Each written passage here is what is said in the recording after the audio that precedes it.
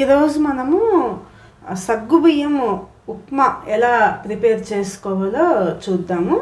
దీనికి కావలసిన ముఖ్యమైన పదార్థాలు సగ్గుబియ్యం ఈ మెజర్ ఒక కప్పు ఈ మెజర్ నేను ఒక ఫుల్ నైట్ నానబెట్టుకుని తీసుకున్నాను అనమాట మనము ఈ ఈ మెజర్ ఫుల్ ఈ బౌల్ ఫుల్గా ఉన్న సగ్గుబియ్యం నానబెట్టుకుంటే మనకి చూడండి. ఈ పెద్ద బౌల్ నిండా మనకి ప్రిపేర్ అయిందనమాట తర్వాత మనం సగ్గుబియ్యం సెలక్షన్లో కొంచెం లావుగా ఉన్న సగ్గుబియ్యం అనేది తీసుకోవాలి. ఆ తర్వాత ఒకవేళ నైట్ మొత్తం మనకి నానబెట్టుకునే టైం లేకపోతే కనుక కనీసం ఒక రెండున్నర నుంచి మూడు గంటల పాటు నానబెట్టుకోవాలి వీటిని. మనకి ఇలా బ్రేక్ చేస్తే లోపల అనేది గట్టిగా ఏది తగలకూడదనమాట ఆ స్టేజ్ వరకు మనం నానబెట్టుకోవాలి.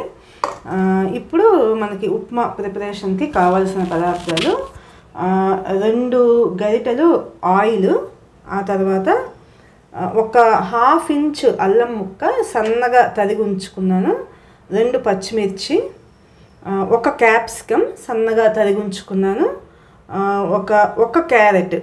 ఇది నేను గ్రేట్ చేసి ఉంచుకున్నాను అనమాట కరివేపాకు కొత్తిమీర చిన్న సైజు ఎండు కొబ్బరి ముక్క తర్వాత పల్లీలు చక్కగా వేయించుకుని పొట్టు తీసుకుని ఉంచుకున్నాను ఈ మెజర్. ఆ తర్వాత పౌడర్లోకి మనకి కొంచెం ఒక పావు స్పూను జీలకర్ర. ముందుగా ఈ ప్రిపరేషన్ విధానం అనేది చూద్దాము.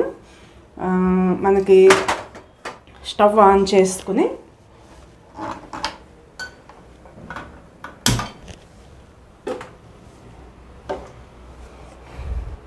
ఒక రెండు గరిటెలు ఆయిల్ అనేది వేసుకుందాము. ఆయిల్ కొంచెం మనము మరీ ఎక్కువగా కాకుండా తక్కువగా కాకుండా తీసుకోవాలి. ఎందుకంటే ఇక్కడ సగ్గుబియ్యం అనేది మనకి అతుక్కుపోయే ఒకదానికొకటి అతుక్కోకుండా చక్కగా పొడి పొడిలాడుతూ రావాలన్నమాట. కా- కాబట్టి ఆయిల్ అనేది సరిపడగా తీసుకోవాలి. ఇప్పుడు ఆయిల్ వేడెక్కిన తర్వాత మనము కొంచెం వేరే ఏమీ వేసుకోవద్దు తిరగమాతలో కూడా మీద ఒట్టి జీలకర్ర మాత్రం వేసుకుందాము. కొంచెం జీలకర్ర. మనకి జీలకర్ర వేగిన తర్వాత కరివేపాకు వేసుకుందాము.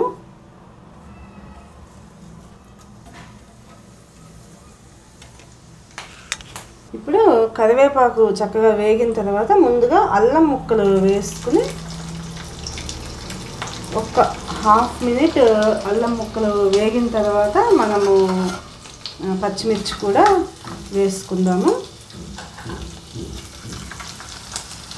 అల్లము పచ్చిమిర్చి వేగిన తర్వాత మనం క్యాప్సికమ్ ముక్కలు సన్నగా తరిగి ఉంచుకున్న క్యాప్సికమ్ ముక్కలు తర్వాత క్యారెట్ ఒక half spoon salt half tablespoon salt అనేది సరిపోతుంది మనకి. క్యాప్సికమ్ ముక్కలు మనం క్యారెట్ వేసుకుని ఒక్క నిమిషం పాటు సాల్ట్ కూడా యాడ్ చేసుకున్న తర్వాత ఒక్క నిమిషం పాటు సిమ్లో ఉంచుకుని మనము అది వేగనిద్దాము. ఆ తర్వాత ఆ ప్రాసెస్లో మనము ఈ పల్లీలు ఏవైతే వేయించి ఉంచుకున్నామో పల్లీలు ఎండు కొబ్బరి సన్నగా ఇలా కట్ చేసుకుని ఒక పావు స్పూన్ జీలకర్ర గ్రైండ్ చేసుకుందాము. ముక్కలు మగ్గిన తర్వాత మనము ఈ సగ్గుబియ్యంతో పాటు ఒక పించ్ పసుపు అనేది యాడ్ చేసుకుని ఇప్పుడు ఒక ఐదు అంటే ఐదు నిమిషాల పాటు మనము ఇలా సగ్గుబియ్యం అనేది ఒకదానికొకటి అతుక్కోకుండా కలుపుకోవాలన్నమాట. ఒకదానికొకటి అతుక్కుపోకుండా మనం జాగ్రత్తగా కలుపుకోవాలి. ఒక్క ఐదు నిమిషాల పాటు ఇలా మనము చక్కగా కలుపుకుంటూ వీటిని వేయించుకుంటే స్టవ్ అనేది సిమ్లోనే ఉంచుకోండి. స్టవ్ హైలో ఉంటే మనకి అతుక్కుపోయే అవకాశం ఉంది. మనకి సగ్గుబియ్యం నానబెట్టుకున్న తర్వాత కూడా నీరు అనేది ఏమీ లేకుండా చక్కగా వడగట్టుకోవాలి. బెజ్జాలు ఉన్న గిన్నెలో వేసుకుంటే మనకి నీరంతా కూడా కిందకి జారిపోతుంది. అవసరం అనుకుంటే కనుక ఒక కాటన్ బట్టతో కూడా మనము వీటిని బట్ట మీద ఒక్క రెండు నిమిషాల పాటు అలా ఆరబెట్టుకుంటే తడి అనేది లేకుండా అయిపోతుంది అనమాట ఒక ఐదు నిమిషాల పాటు ఇలా వేయించుకుంటే చాలు. ఎందుకంటే మనకి సగ్గుబియ్యం అనేది నానింది. ఒక ఫుల్ నైట్ నానబెట్టుకున్నాము. కాబట్టి తొందరగా ఉడికిపోతుంది అనమాట మనకి సగ్గుబియ్యంతో ఈ విధంగా ఒక హాట్ ఐటెం కూడా మనము ప్రిపేర్ చేసుకోవచ్చు. మనం సగ్గుబియ్యం అనగానే ముందుగా పాయసమే గుర్తు వస్తుంది మనకి. అలా కాకుండా సగ్గుబియ్యంతో మనం ఇలా ఒక ఉప్మా చక్కగా వెజిటేబుల్స్ యూజ్ చేసుకుంటూ ఉప్మాని కూడా మనము ట్రై చేయొచ్చు. సగ్గుబియ్యం మాత్రం ఒకదానికొకటి అతుక్కుపోకుండా మాత్రం మనం జాగ్రత్త వహించాలి.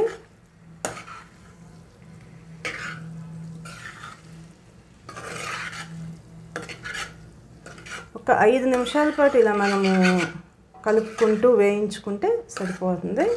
ఐదు నిమిషాల తర్వాత స్టవ్ ఆఫ్ చేసుకుని మనము ఏదైతే పౌడరు పౌడర్ కూడా మనం మెత్త మెత్తగా చేసుకోవాల్సిన అవసరం లేదనమాట కొంచెం బరకగానే చేసుకోవాలి. పల్లీలు ఎండు కొబ్బరి జీలకర్ర మూడు పౌడర్ కూడా కొంచెం బరకగానే ఉంచుకోవాలి. స్టవ్ ఆఫ్ చేసుకున్న తర్వాత మనము ఆ పల్లీల పౌడర్ని ఈ ఉప్మాకి యాడ్ చేసుకోవాలన్నమాట. నేను ఇప్పుడు స్టవ్ ఆఫ్ చేసేసుకుంటున్నాను. ఐదు నిమిషాల పాటు ఇలా వేయించుకున్న తర్వాత స్టవ్ ఆఫ్ చేసుకుంటున్నాను.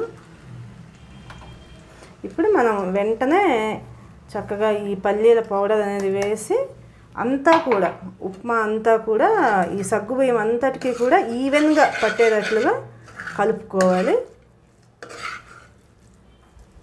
అప్పుడు మనకి ఈ సగ్గుబియ్యం ఉప్మా అనేది పొడి పొడిగా వస్తుందన్నమాట.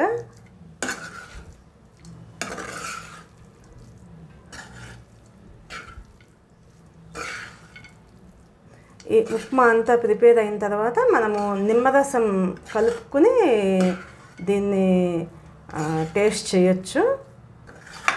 పొడి పొడిలో ఆడుతూ ఉన్న సగ్గుబియ్యము ఉప్మాని మనము సర్వింగ్ బౌల్లోకి తీసుకుని నిమ్మరసము యాడ్ చేసుకుని ఒక టూ టేబుల్ స్పూన్స్ నిమ్మరసం యాడ్ చేసుకుని సర్వ్ చేసుకోవచ్చు.